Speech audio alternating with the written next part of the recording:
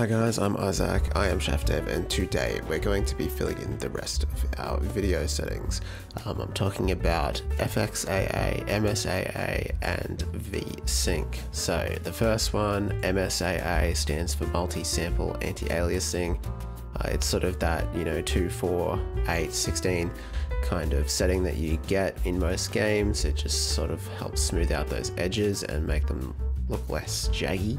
FXAA is fast approximate anti-aliasing, which is uh, sort of just a, a, faster way or a cheaper way of doing it.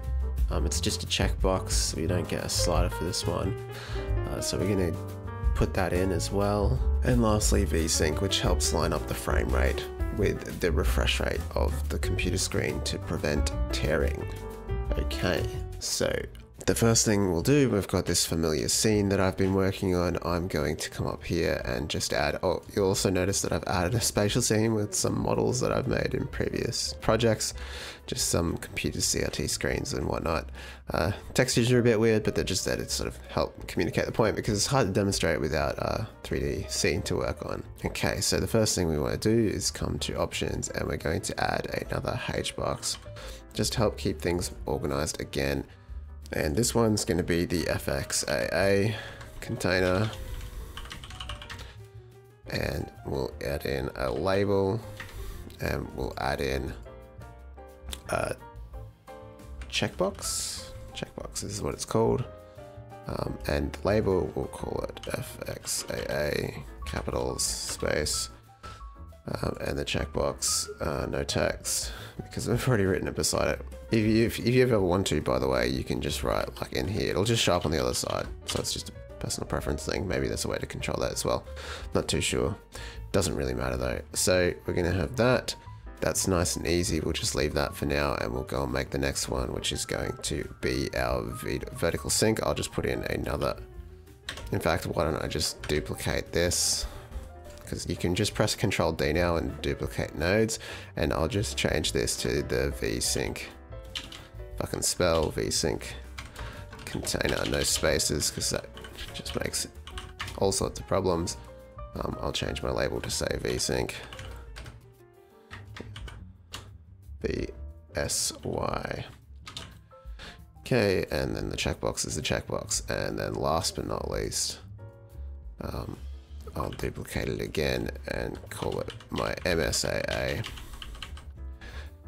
Same thing again. No, boring, you can probably just skip ahead if you've set these up already. I'm gonna delete the checkbox because this is actually gonna be a slider. I will make it a H slider. Okay, so the size flags will make it expand so it just takes up the entire screen. Um, it's editable, it's scrollable. The tick count is going to be four. I like to put them on borders, but that's, you know, a preference thing. Um, the min value will be zero and the max value is going to be four and the step's going to be one. So, and we can just start the value on zero because I'm fairly certain this project is just set up to be um, MSA disabled, right? So MSAA, you don't set the value like 2, 4, 16 uh, you have an enumerator to work with 0 to 4 and it sets the amount for you. So max value for here. Okay. So now we just need to connect up the signals. Um, I'm going to rename these checkboxes as well while I'm at it, just to help me keep organized. And make the code more readable. VSync check. MSAA slider. Okay, so the node that we need to do is just toggled.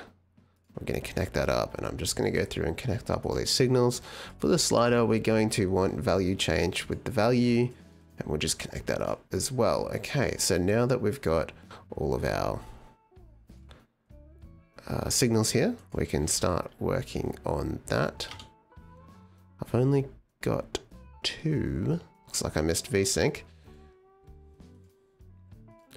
Okay, so we've got a fairly simple code to implement here. So for, let's just start uh, at the top here, fxaa. Uh, we just need to get the viewport first thing, and then just set use fxaa and just pass it on the uh, bool from the from the signal. That's it. That's all you have to do for that. Nice and easy. I'll skip down to vsync as well because it's also a single line. Um, we just need to use os.set use vsync. I think it's called S-Y-N-C-K. And then we're just going to pass on that same boolean. And that's those two done. MSA is a little bit different. So with MSAA, all we need to do is type get viewport dot set MSAA and then pass on that value.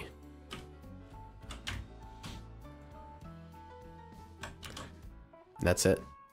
So one thing I've had to do here is just spread these out a little bit so it's a little bit um, easier to see everything going on.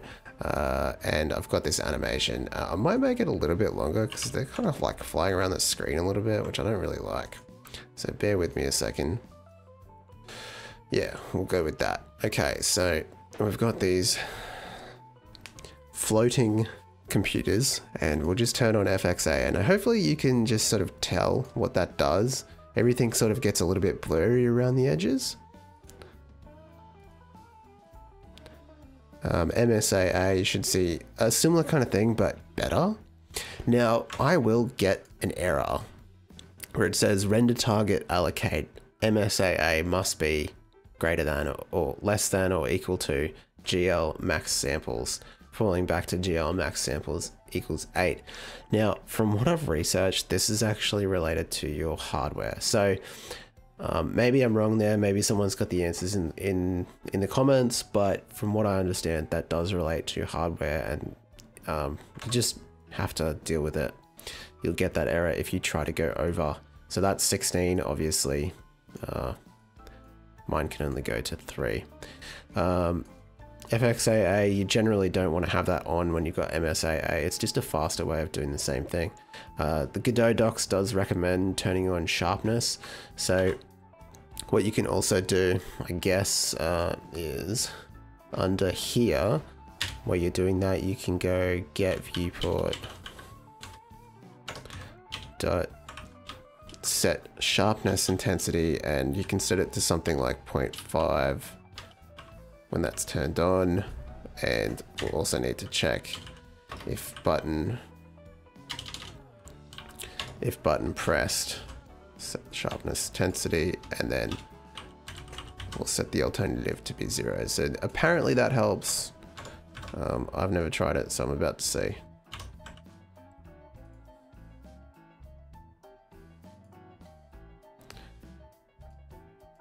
yeah I, don't know it's really up to you whether or not you want to include that. I can see sort of around these edges of the Apple II sort of get a lot smoother, but they are still blurry. Um, so it's something you can use. Um, this obviously MSAA looks way better, and then and with VSync off, so I don't know if that's going to be visible. I yeah, honestly, I can't see it making a difference, but this scene is fairly low impact, so... Okay, so the other thing that we need to do is obviously, it's the same as last time. These settings need to be sort of checked at startup. So we're just going to grab them all on ready var. We'll call it vsync. Toggle is equal to dollar sign vsync. Check on ready for fxaa toggle is equal to dollar sign fxaa check ready uh, msaa slider is equal to msaa slider and in the ready function we'll just go vsync toggle dot set pressed no signal and we'll pass in os dot is vsync enabled. If I can spell it. And the same with fxaa, toggle, same exact function, set value, uh, set pressed, excuse me, no signal, um, and we'll just go get viewport dot get use fxaa. And then lastly, we'll go msaa, msa slider dot set value and in brackets there we'll just pass in get viewport dot get msa msaa and just close that bracket.